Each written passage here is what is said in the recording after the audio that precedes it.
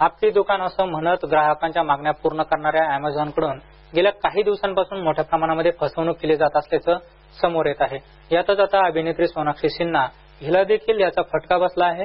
काय आहे प्रकार? पाव्यात हा रिपोर्ट अभिनेत्री सोनाक्षी सिन्हा हिने तिच्या ट्विटर अकाउंटवरून एक फोटो पोस्ट करत अमेझॉनकडून तिची फसवणूक करण्यात आल्याची बाब निदर्शनास आणली आहे.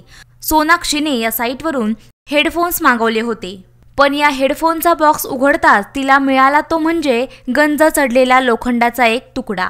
कोऱ्या करकरीत आणि प्रतिष्ठित ब्रँडच्या बॉक्समध्ये असणारा हा तुकडा पाहून काही क्षणासाठी तिला धक्काच बसला. तिने लगेच ही बाब सोशल मीडियाच्या माध्यमातून ॲमेझॉनच्या लक्षात आणून देत नाराजी व्यक्त केली.